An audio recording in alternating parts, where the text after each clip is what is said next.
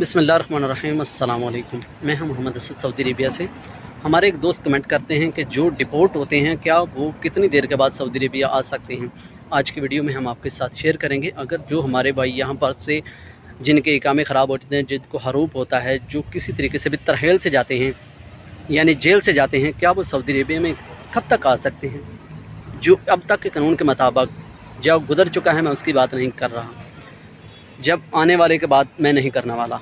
शायद कानून चेंज भी होता रहता है, लेकिन इन दिनों के अंदर जब आप ये वीडियो देख रहे हैं, इस वक्त जो सऊदी अरेबिया में डिपोर्ट होकर जा रहा है या जेल से जाता है, जेल से जो भी आदमी जाता है, वो ताहियात उनको बैन किया जा रहा है। वो सऊदी अरेबिया में कभी नहीं आ सकते, सिर्फ़ वो उम्र और हज पर ही आ सकते हैं।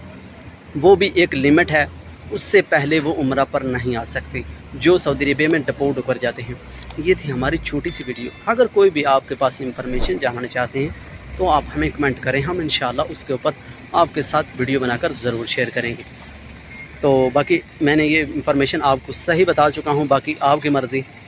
बाकी यहाँ सऊदी अरेबिया में रहने का सिर्फ़ यही फ़ायदा है कि आपके कागजात ठीक होने चाहिए, आपका इकामा ठीक वायलेट होना चाहिए, आप किसी भी किस्म की वायलेशन ना करें। अगर आपको जाना ही है पाकिस्तान तो डिपोर्ट होकर मत जाएँ।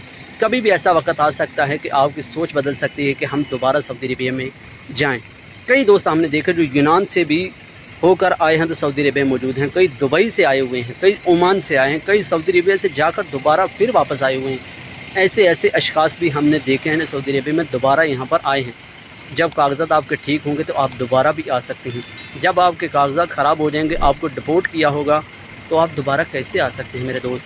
दुनिया में सऊदी अरेबिया जैसा मुल्क कोई नहीं है। ऐसा मुल्क, एक बरकत वाला पैसा और इतना पैसा, अल्हम्दुलिल्लाह, एक आम लेबर जो इटली में भी नहीं कमा सकता। दुनिया का को कोई मुल्क ऐसा नहीं है जहाँ पर इस सऊदी अरेबिया में जो लेबर है, उसके मुताबिक कोई पैसा कमा रहा हो। लेकिन हमने जब भी यहाँ सऊदी अरेबिया के अंदर रहना हो, या अगर ना रहना तो भाईजान आपको फ्रू नहाई लगवाना चाहिए एग्जैक्ट लगवाना चाहिए अपने कपिल से तो आपको अपने मुल्क चले जाना चाहिए। जब आपका दिल नहीं मानता तो आपको एग्जैक्ट लगवाना चाहिए। ये नहीं कि आप डिपोर्ट होकर जाएँगे तो ताहियात बैन किए जाएँगे।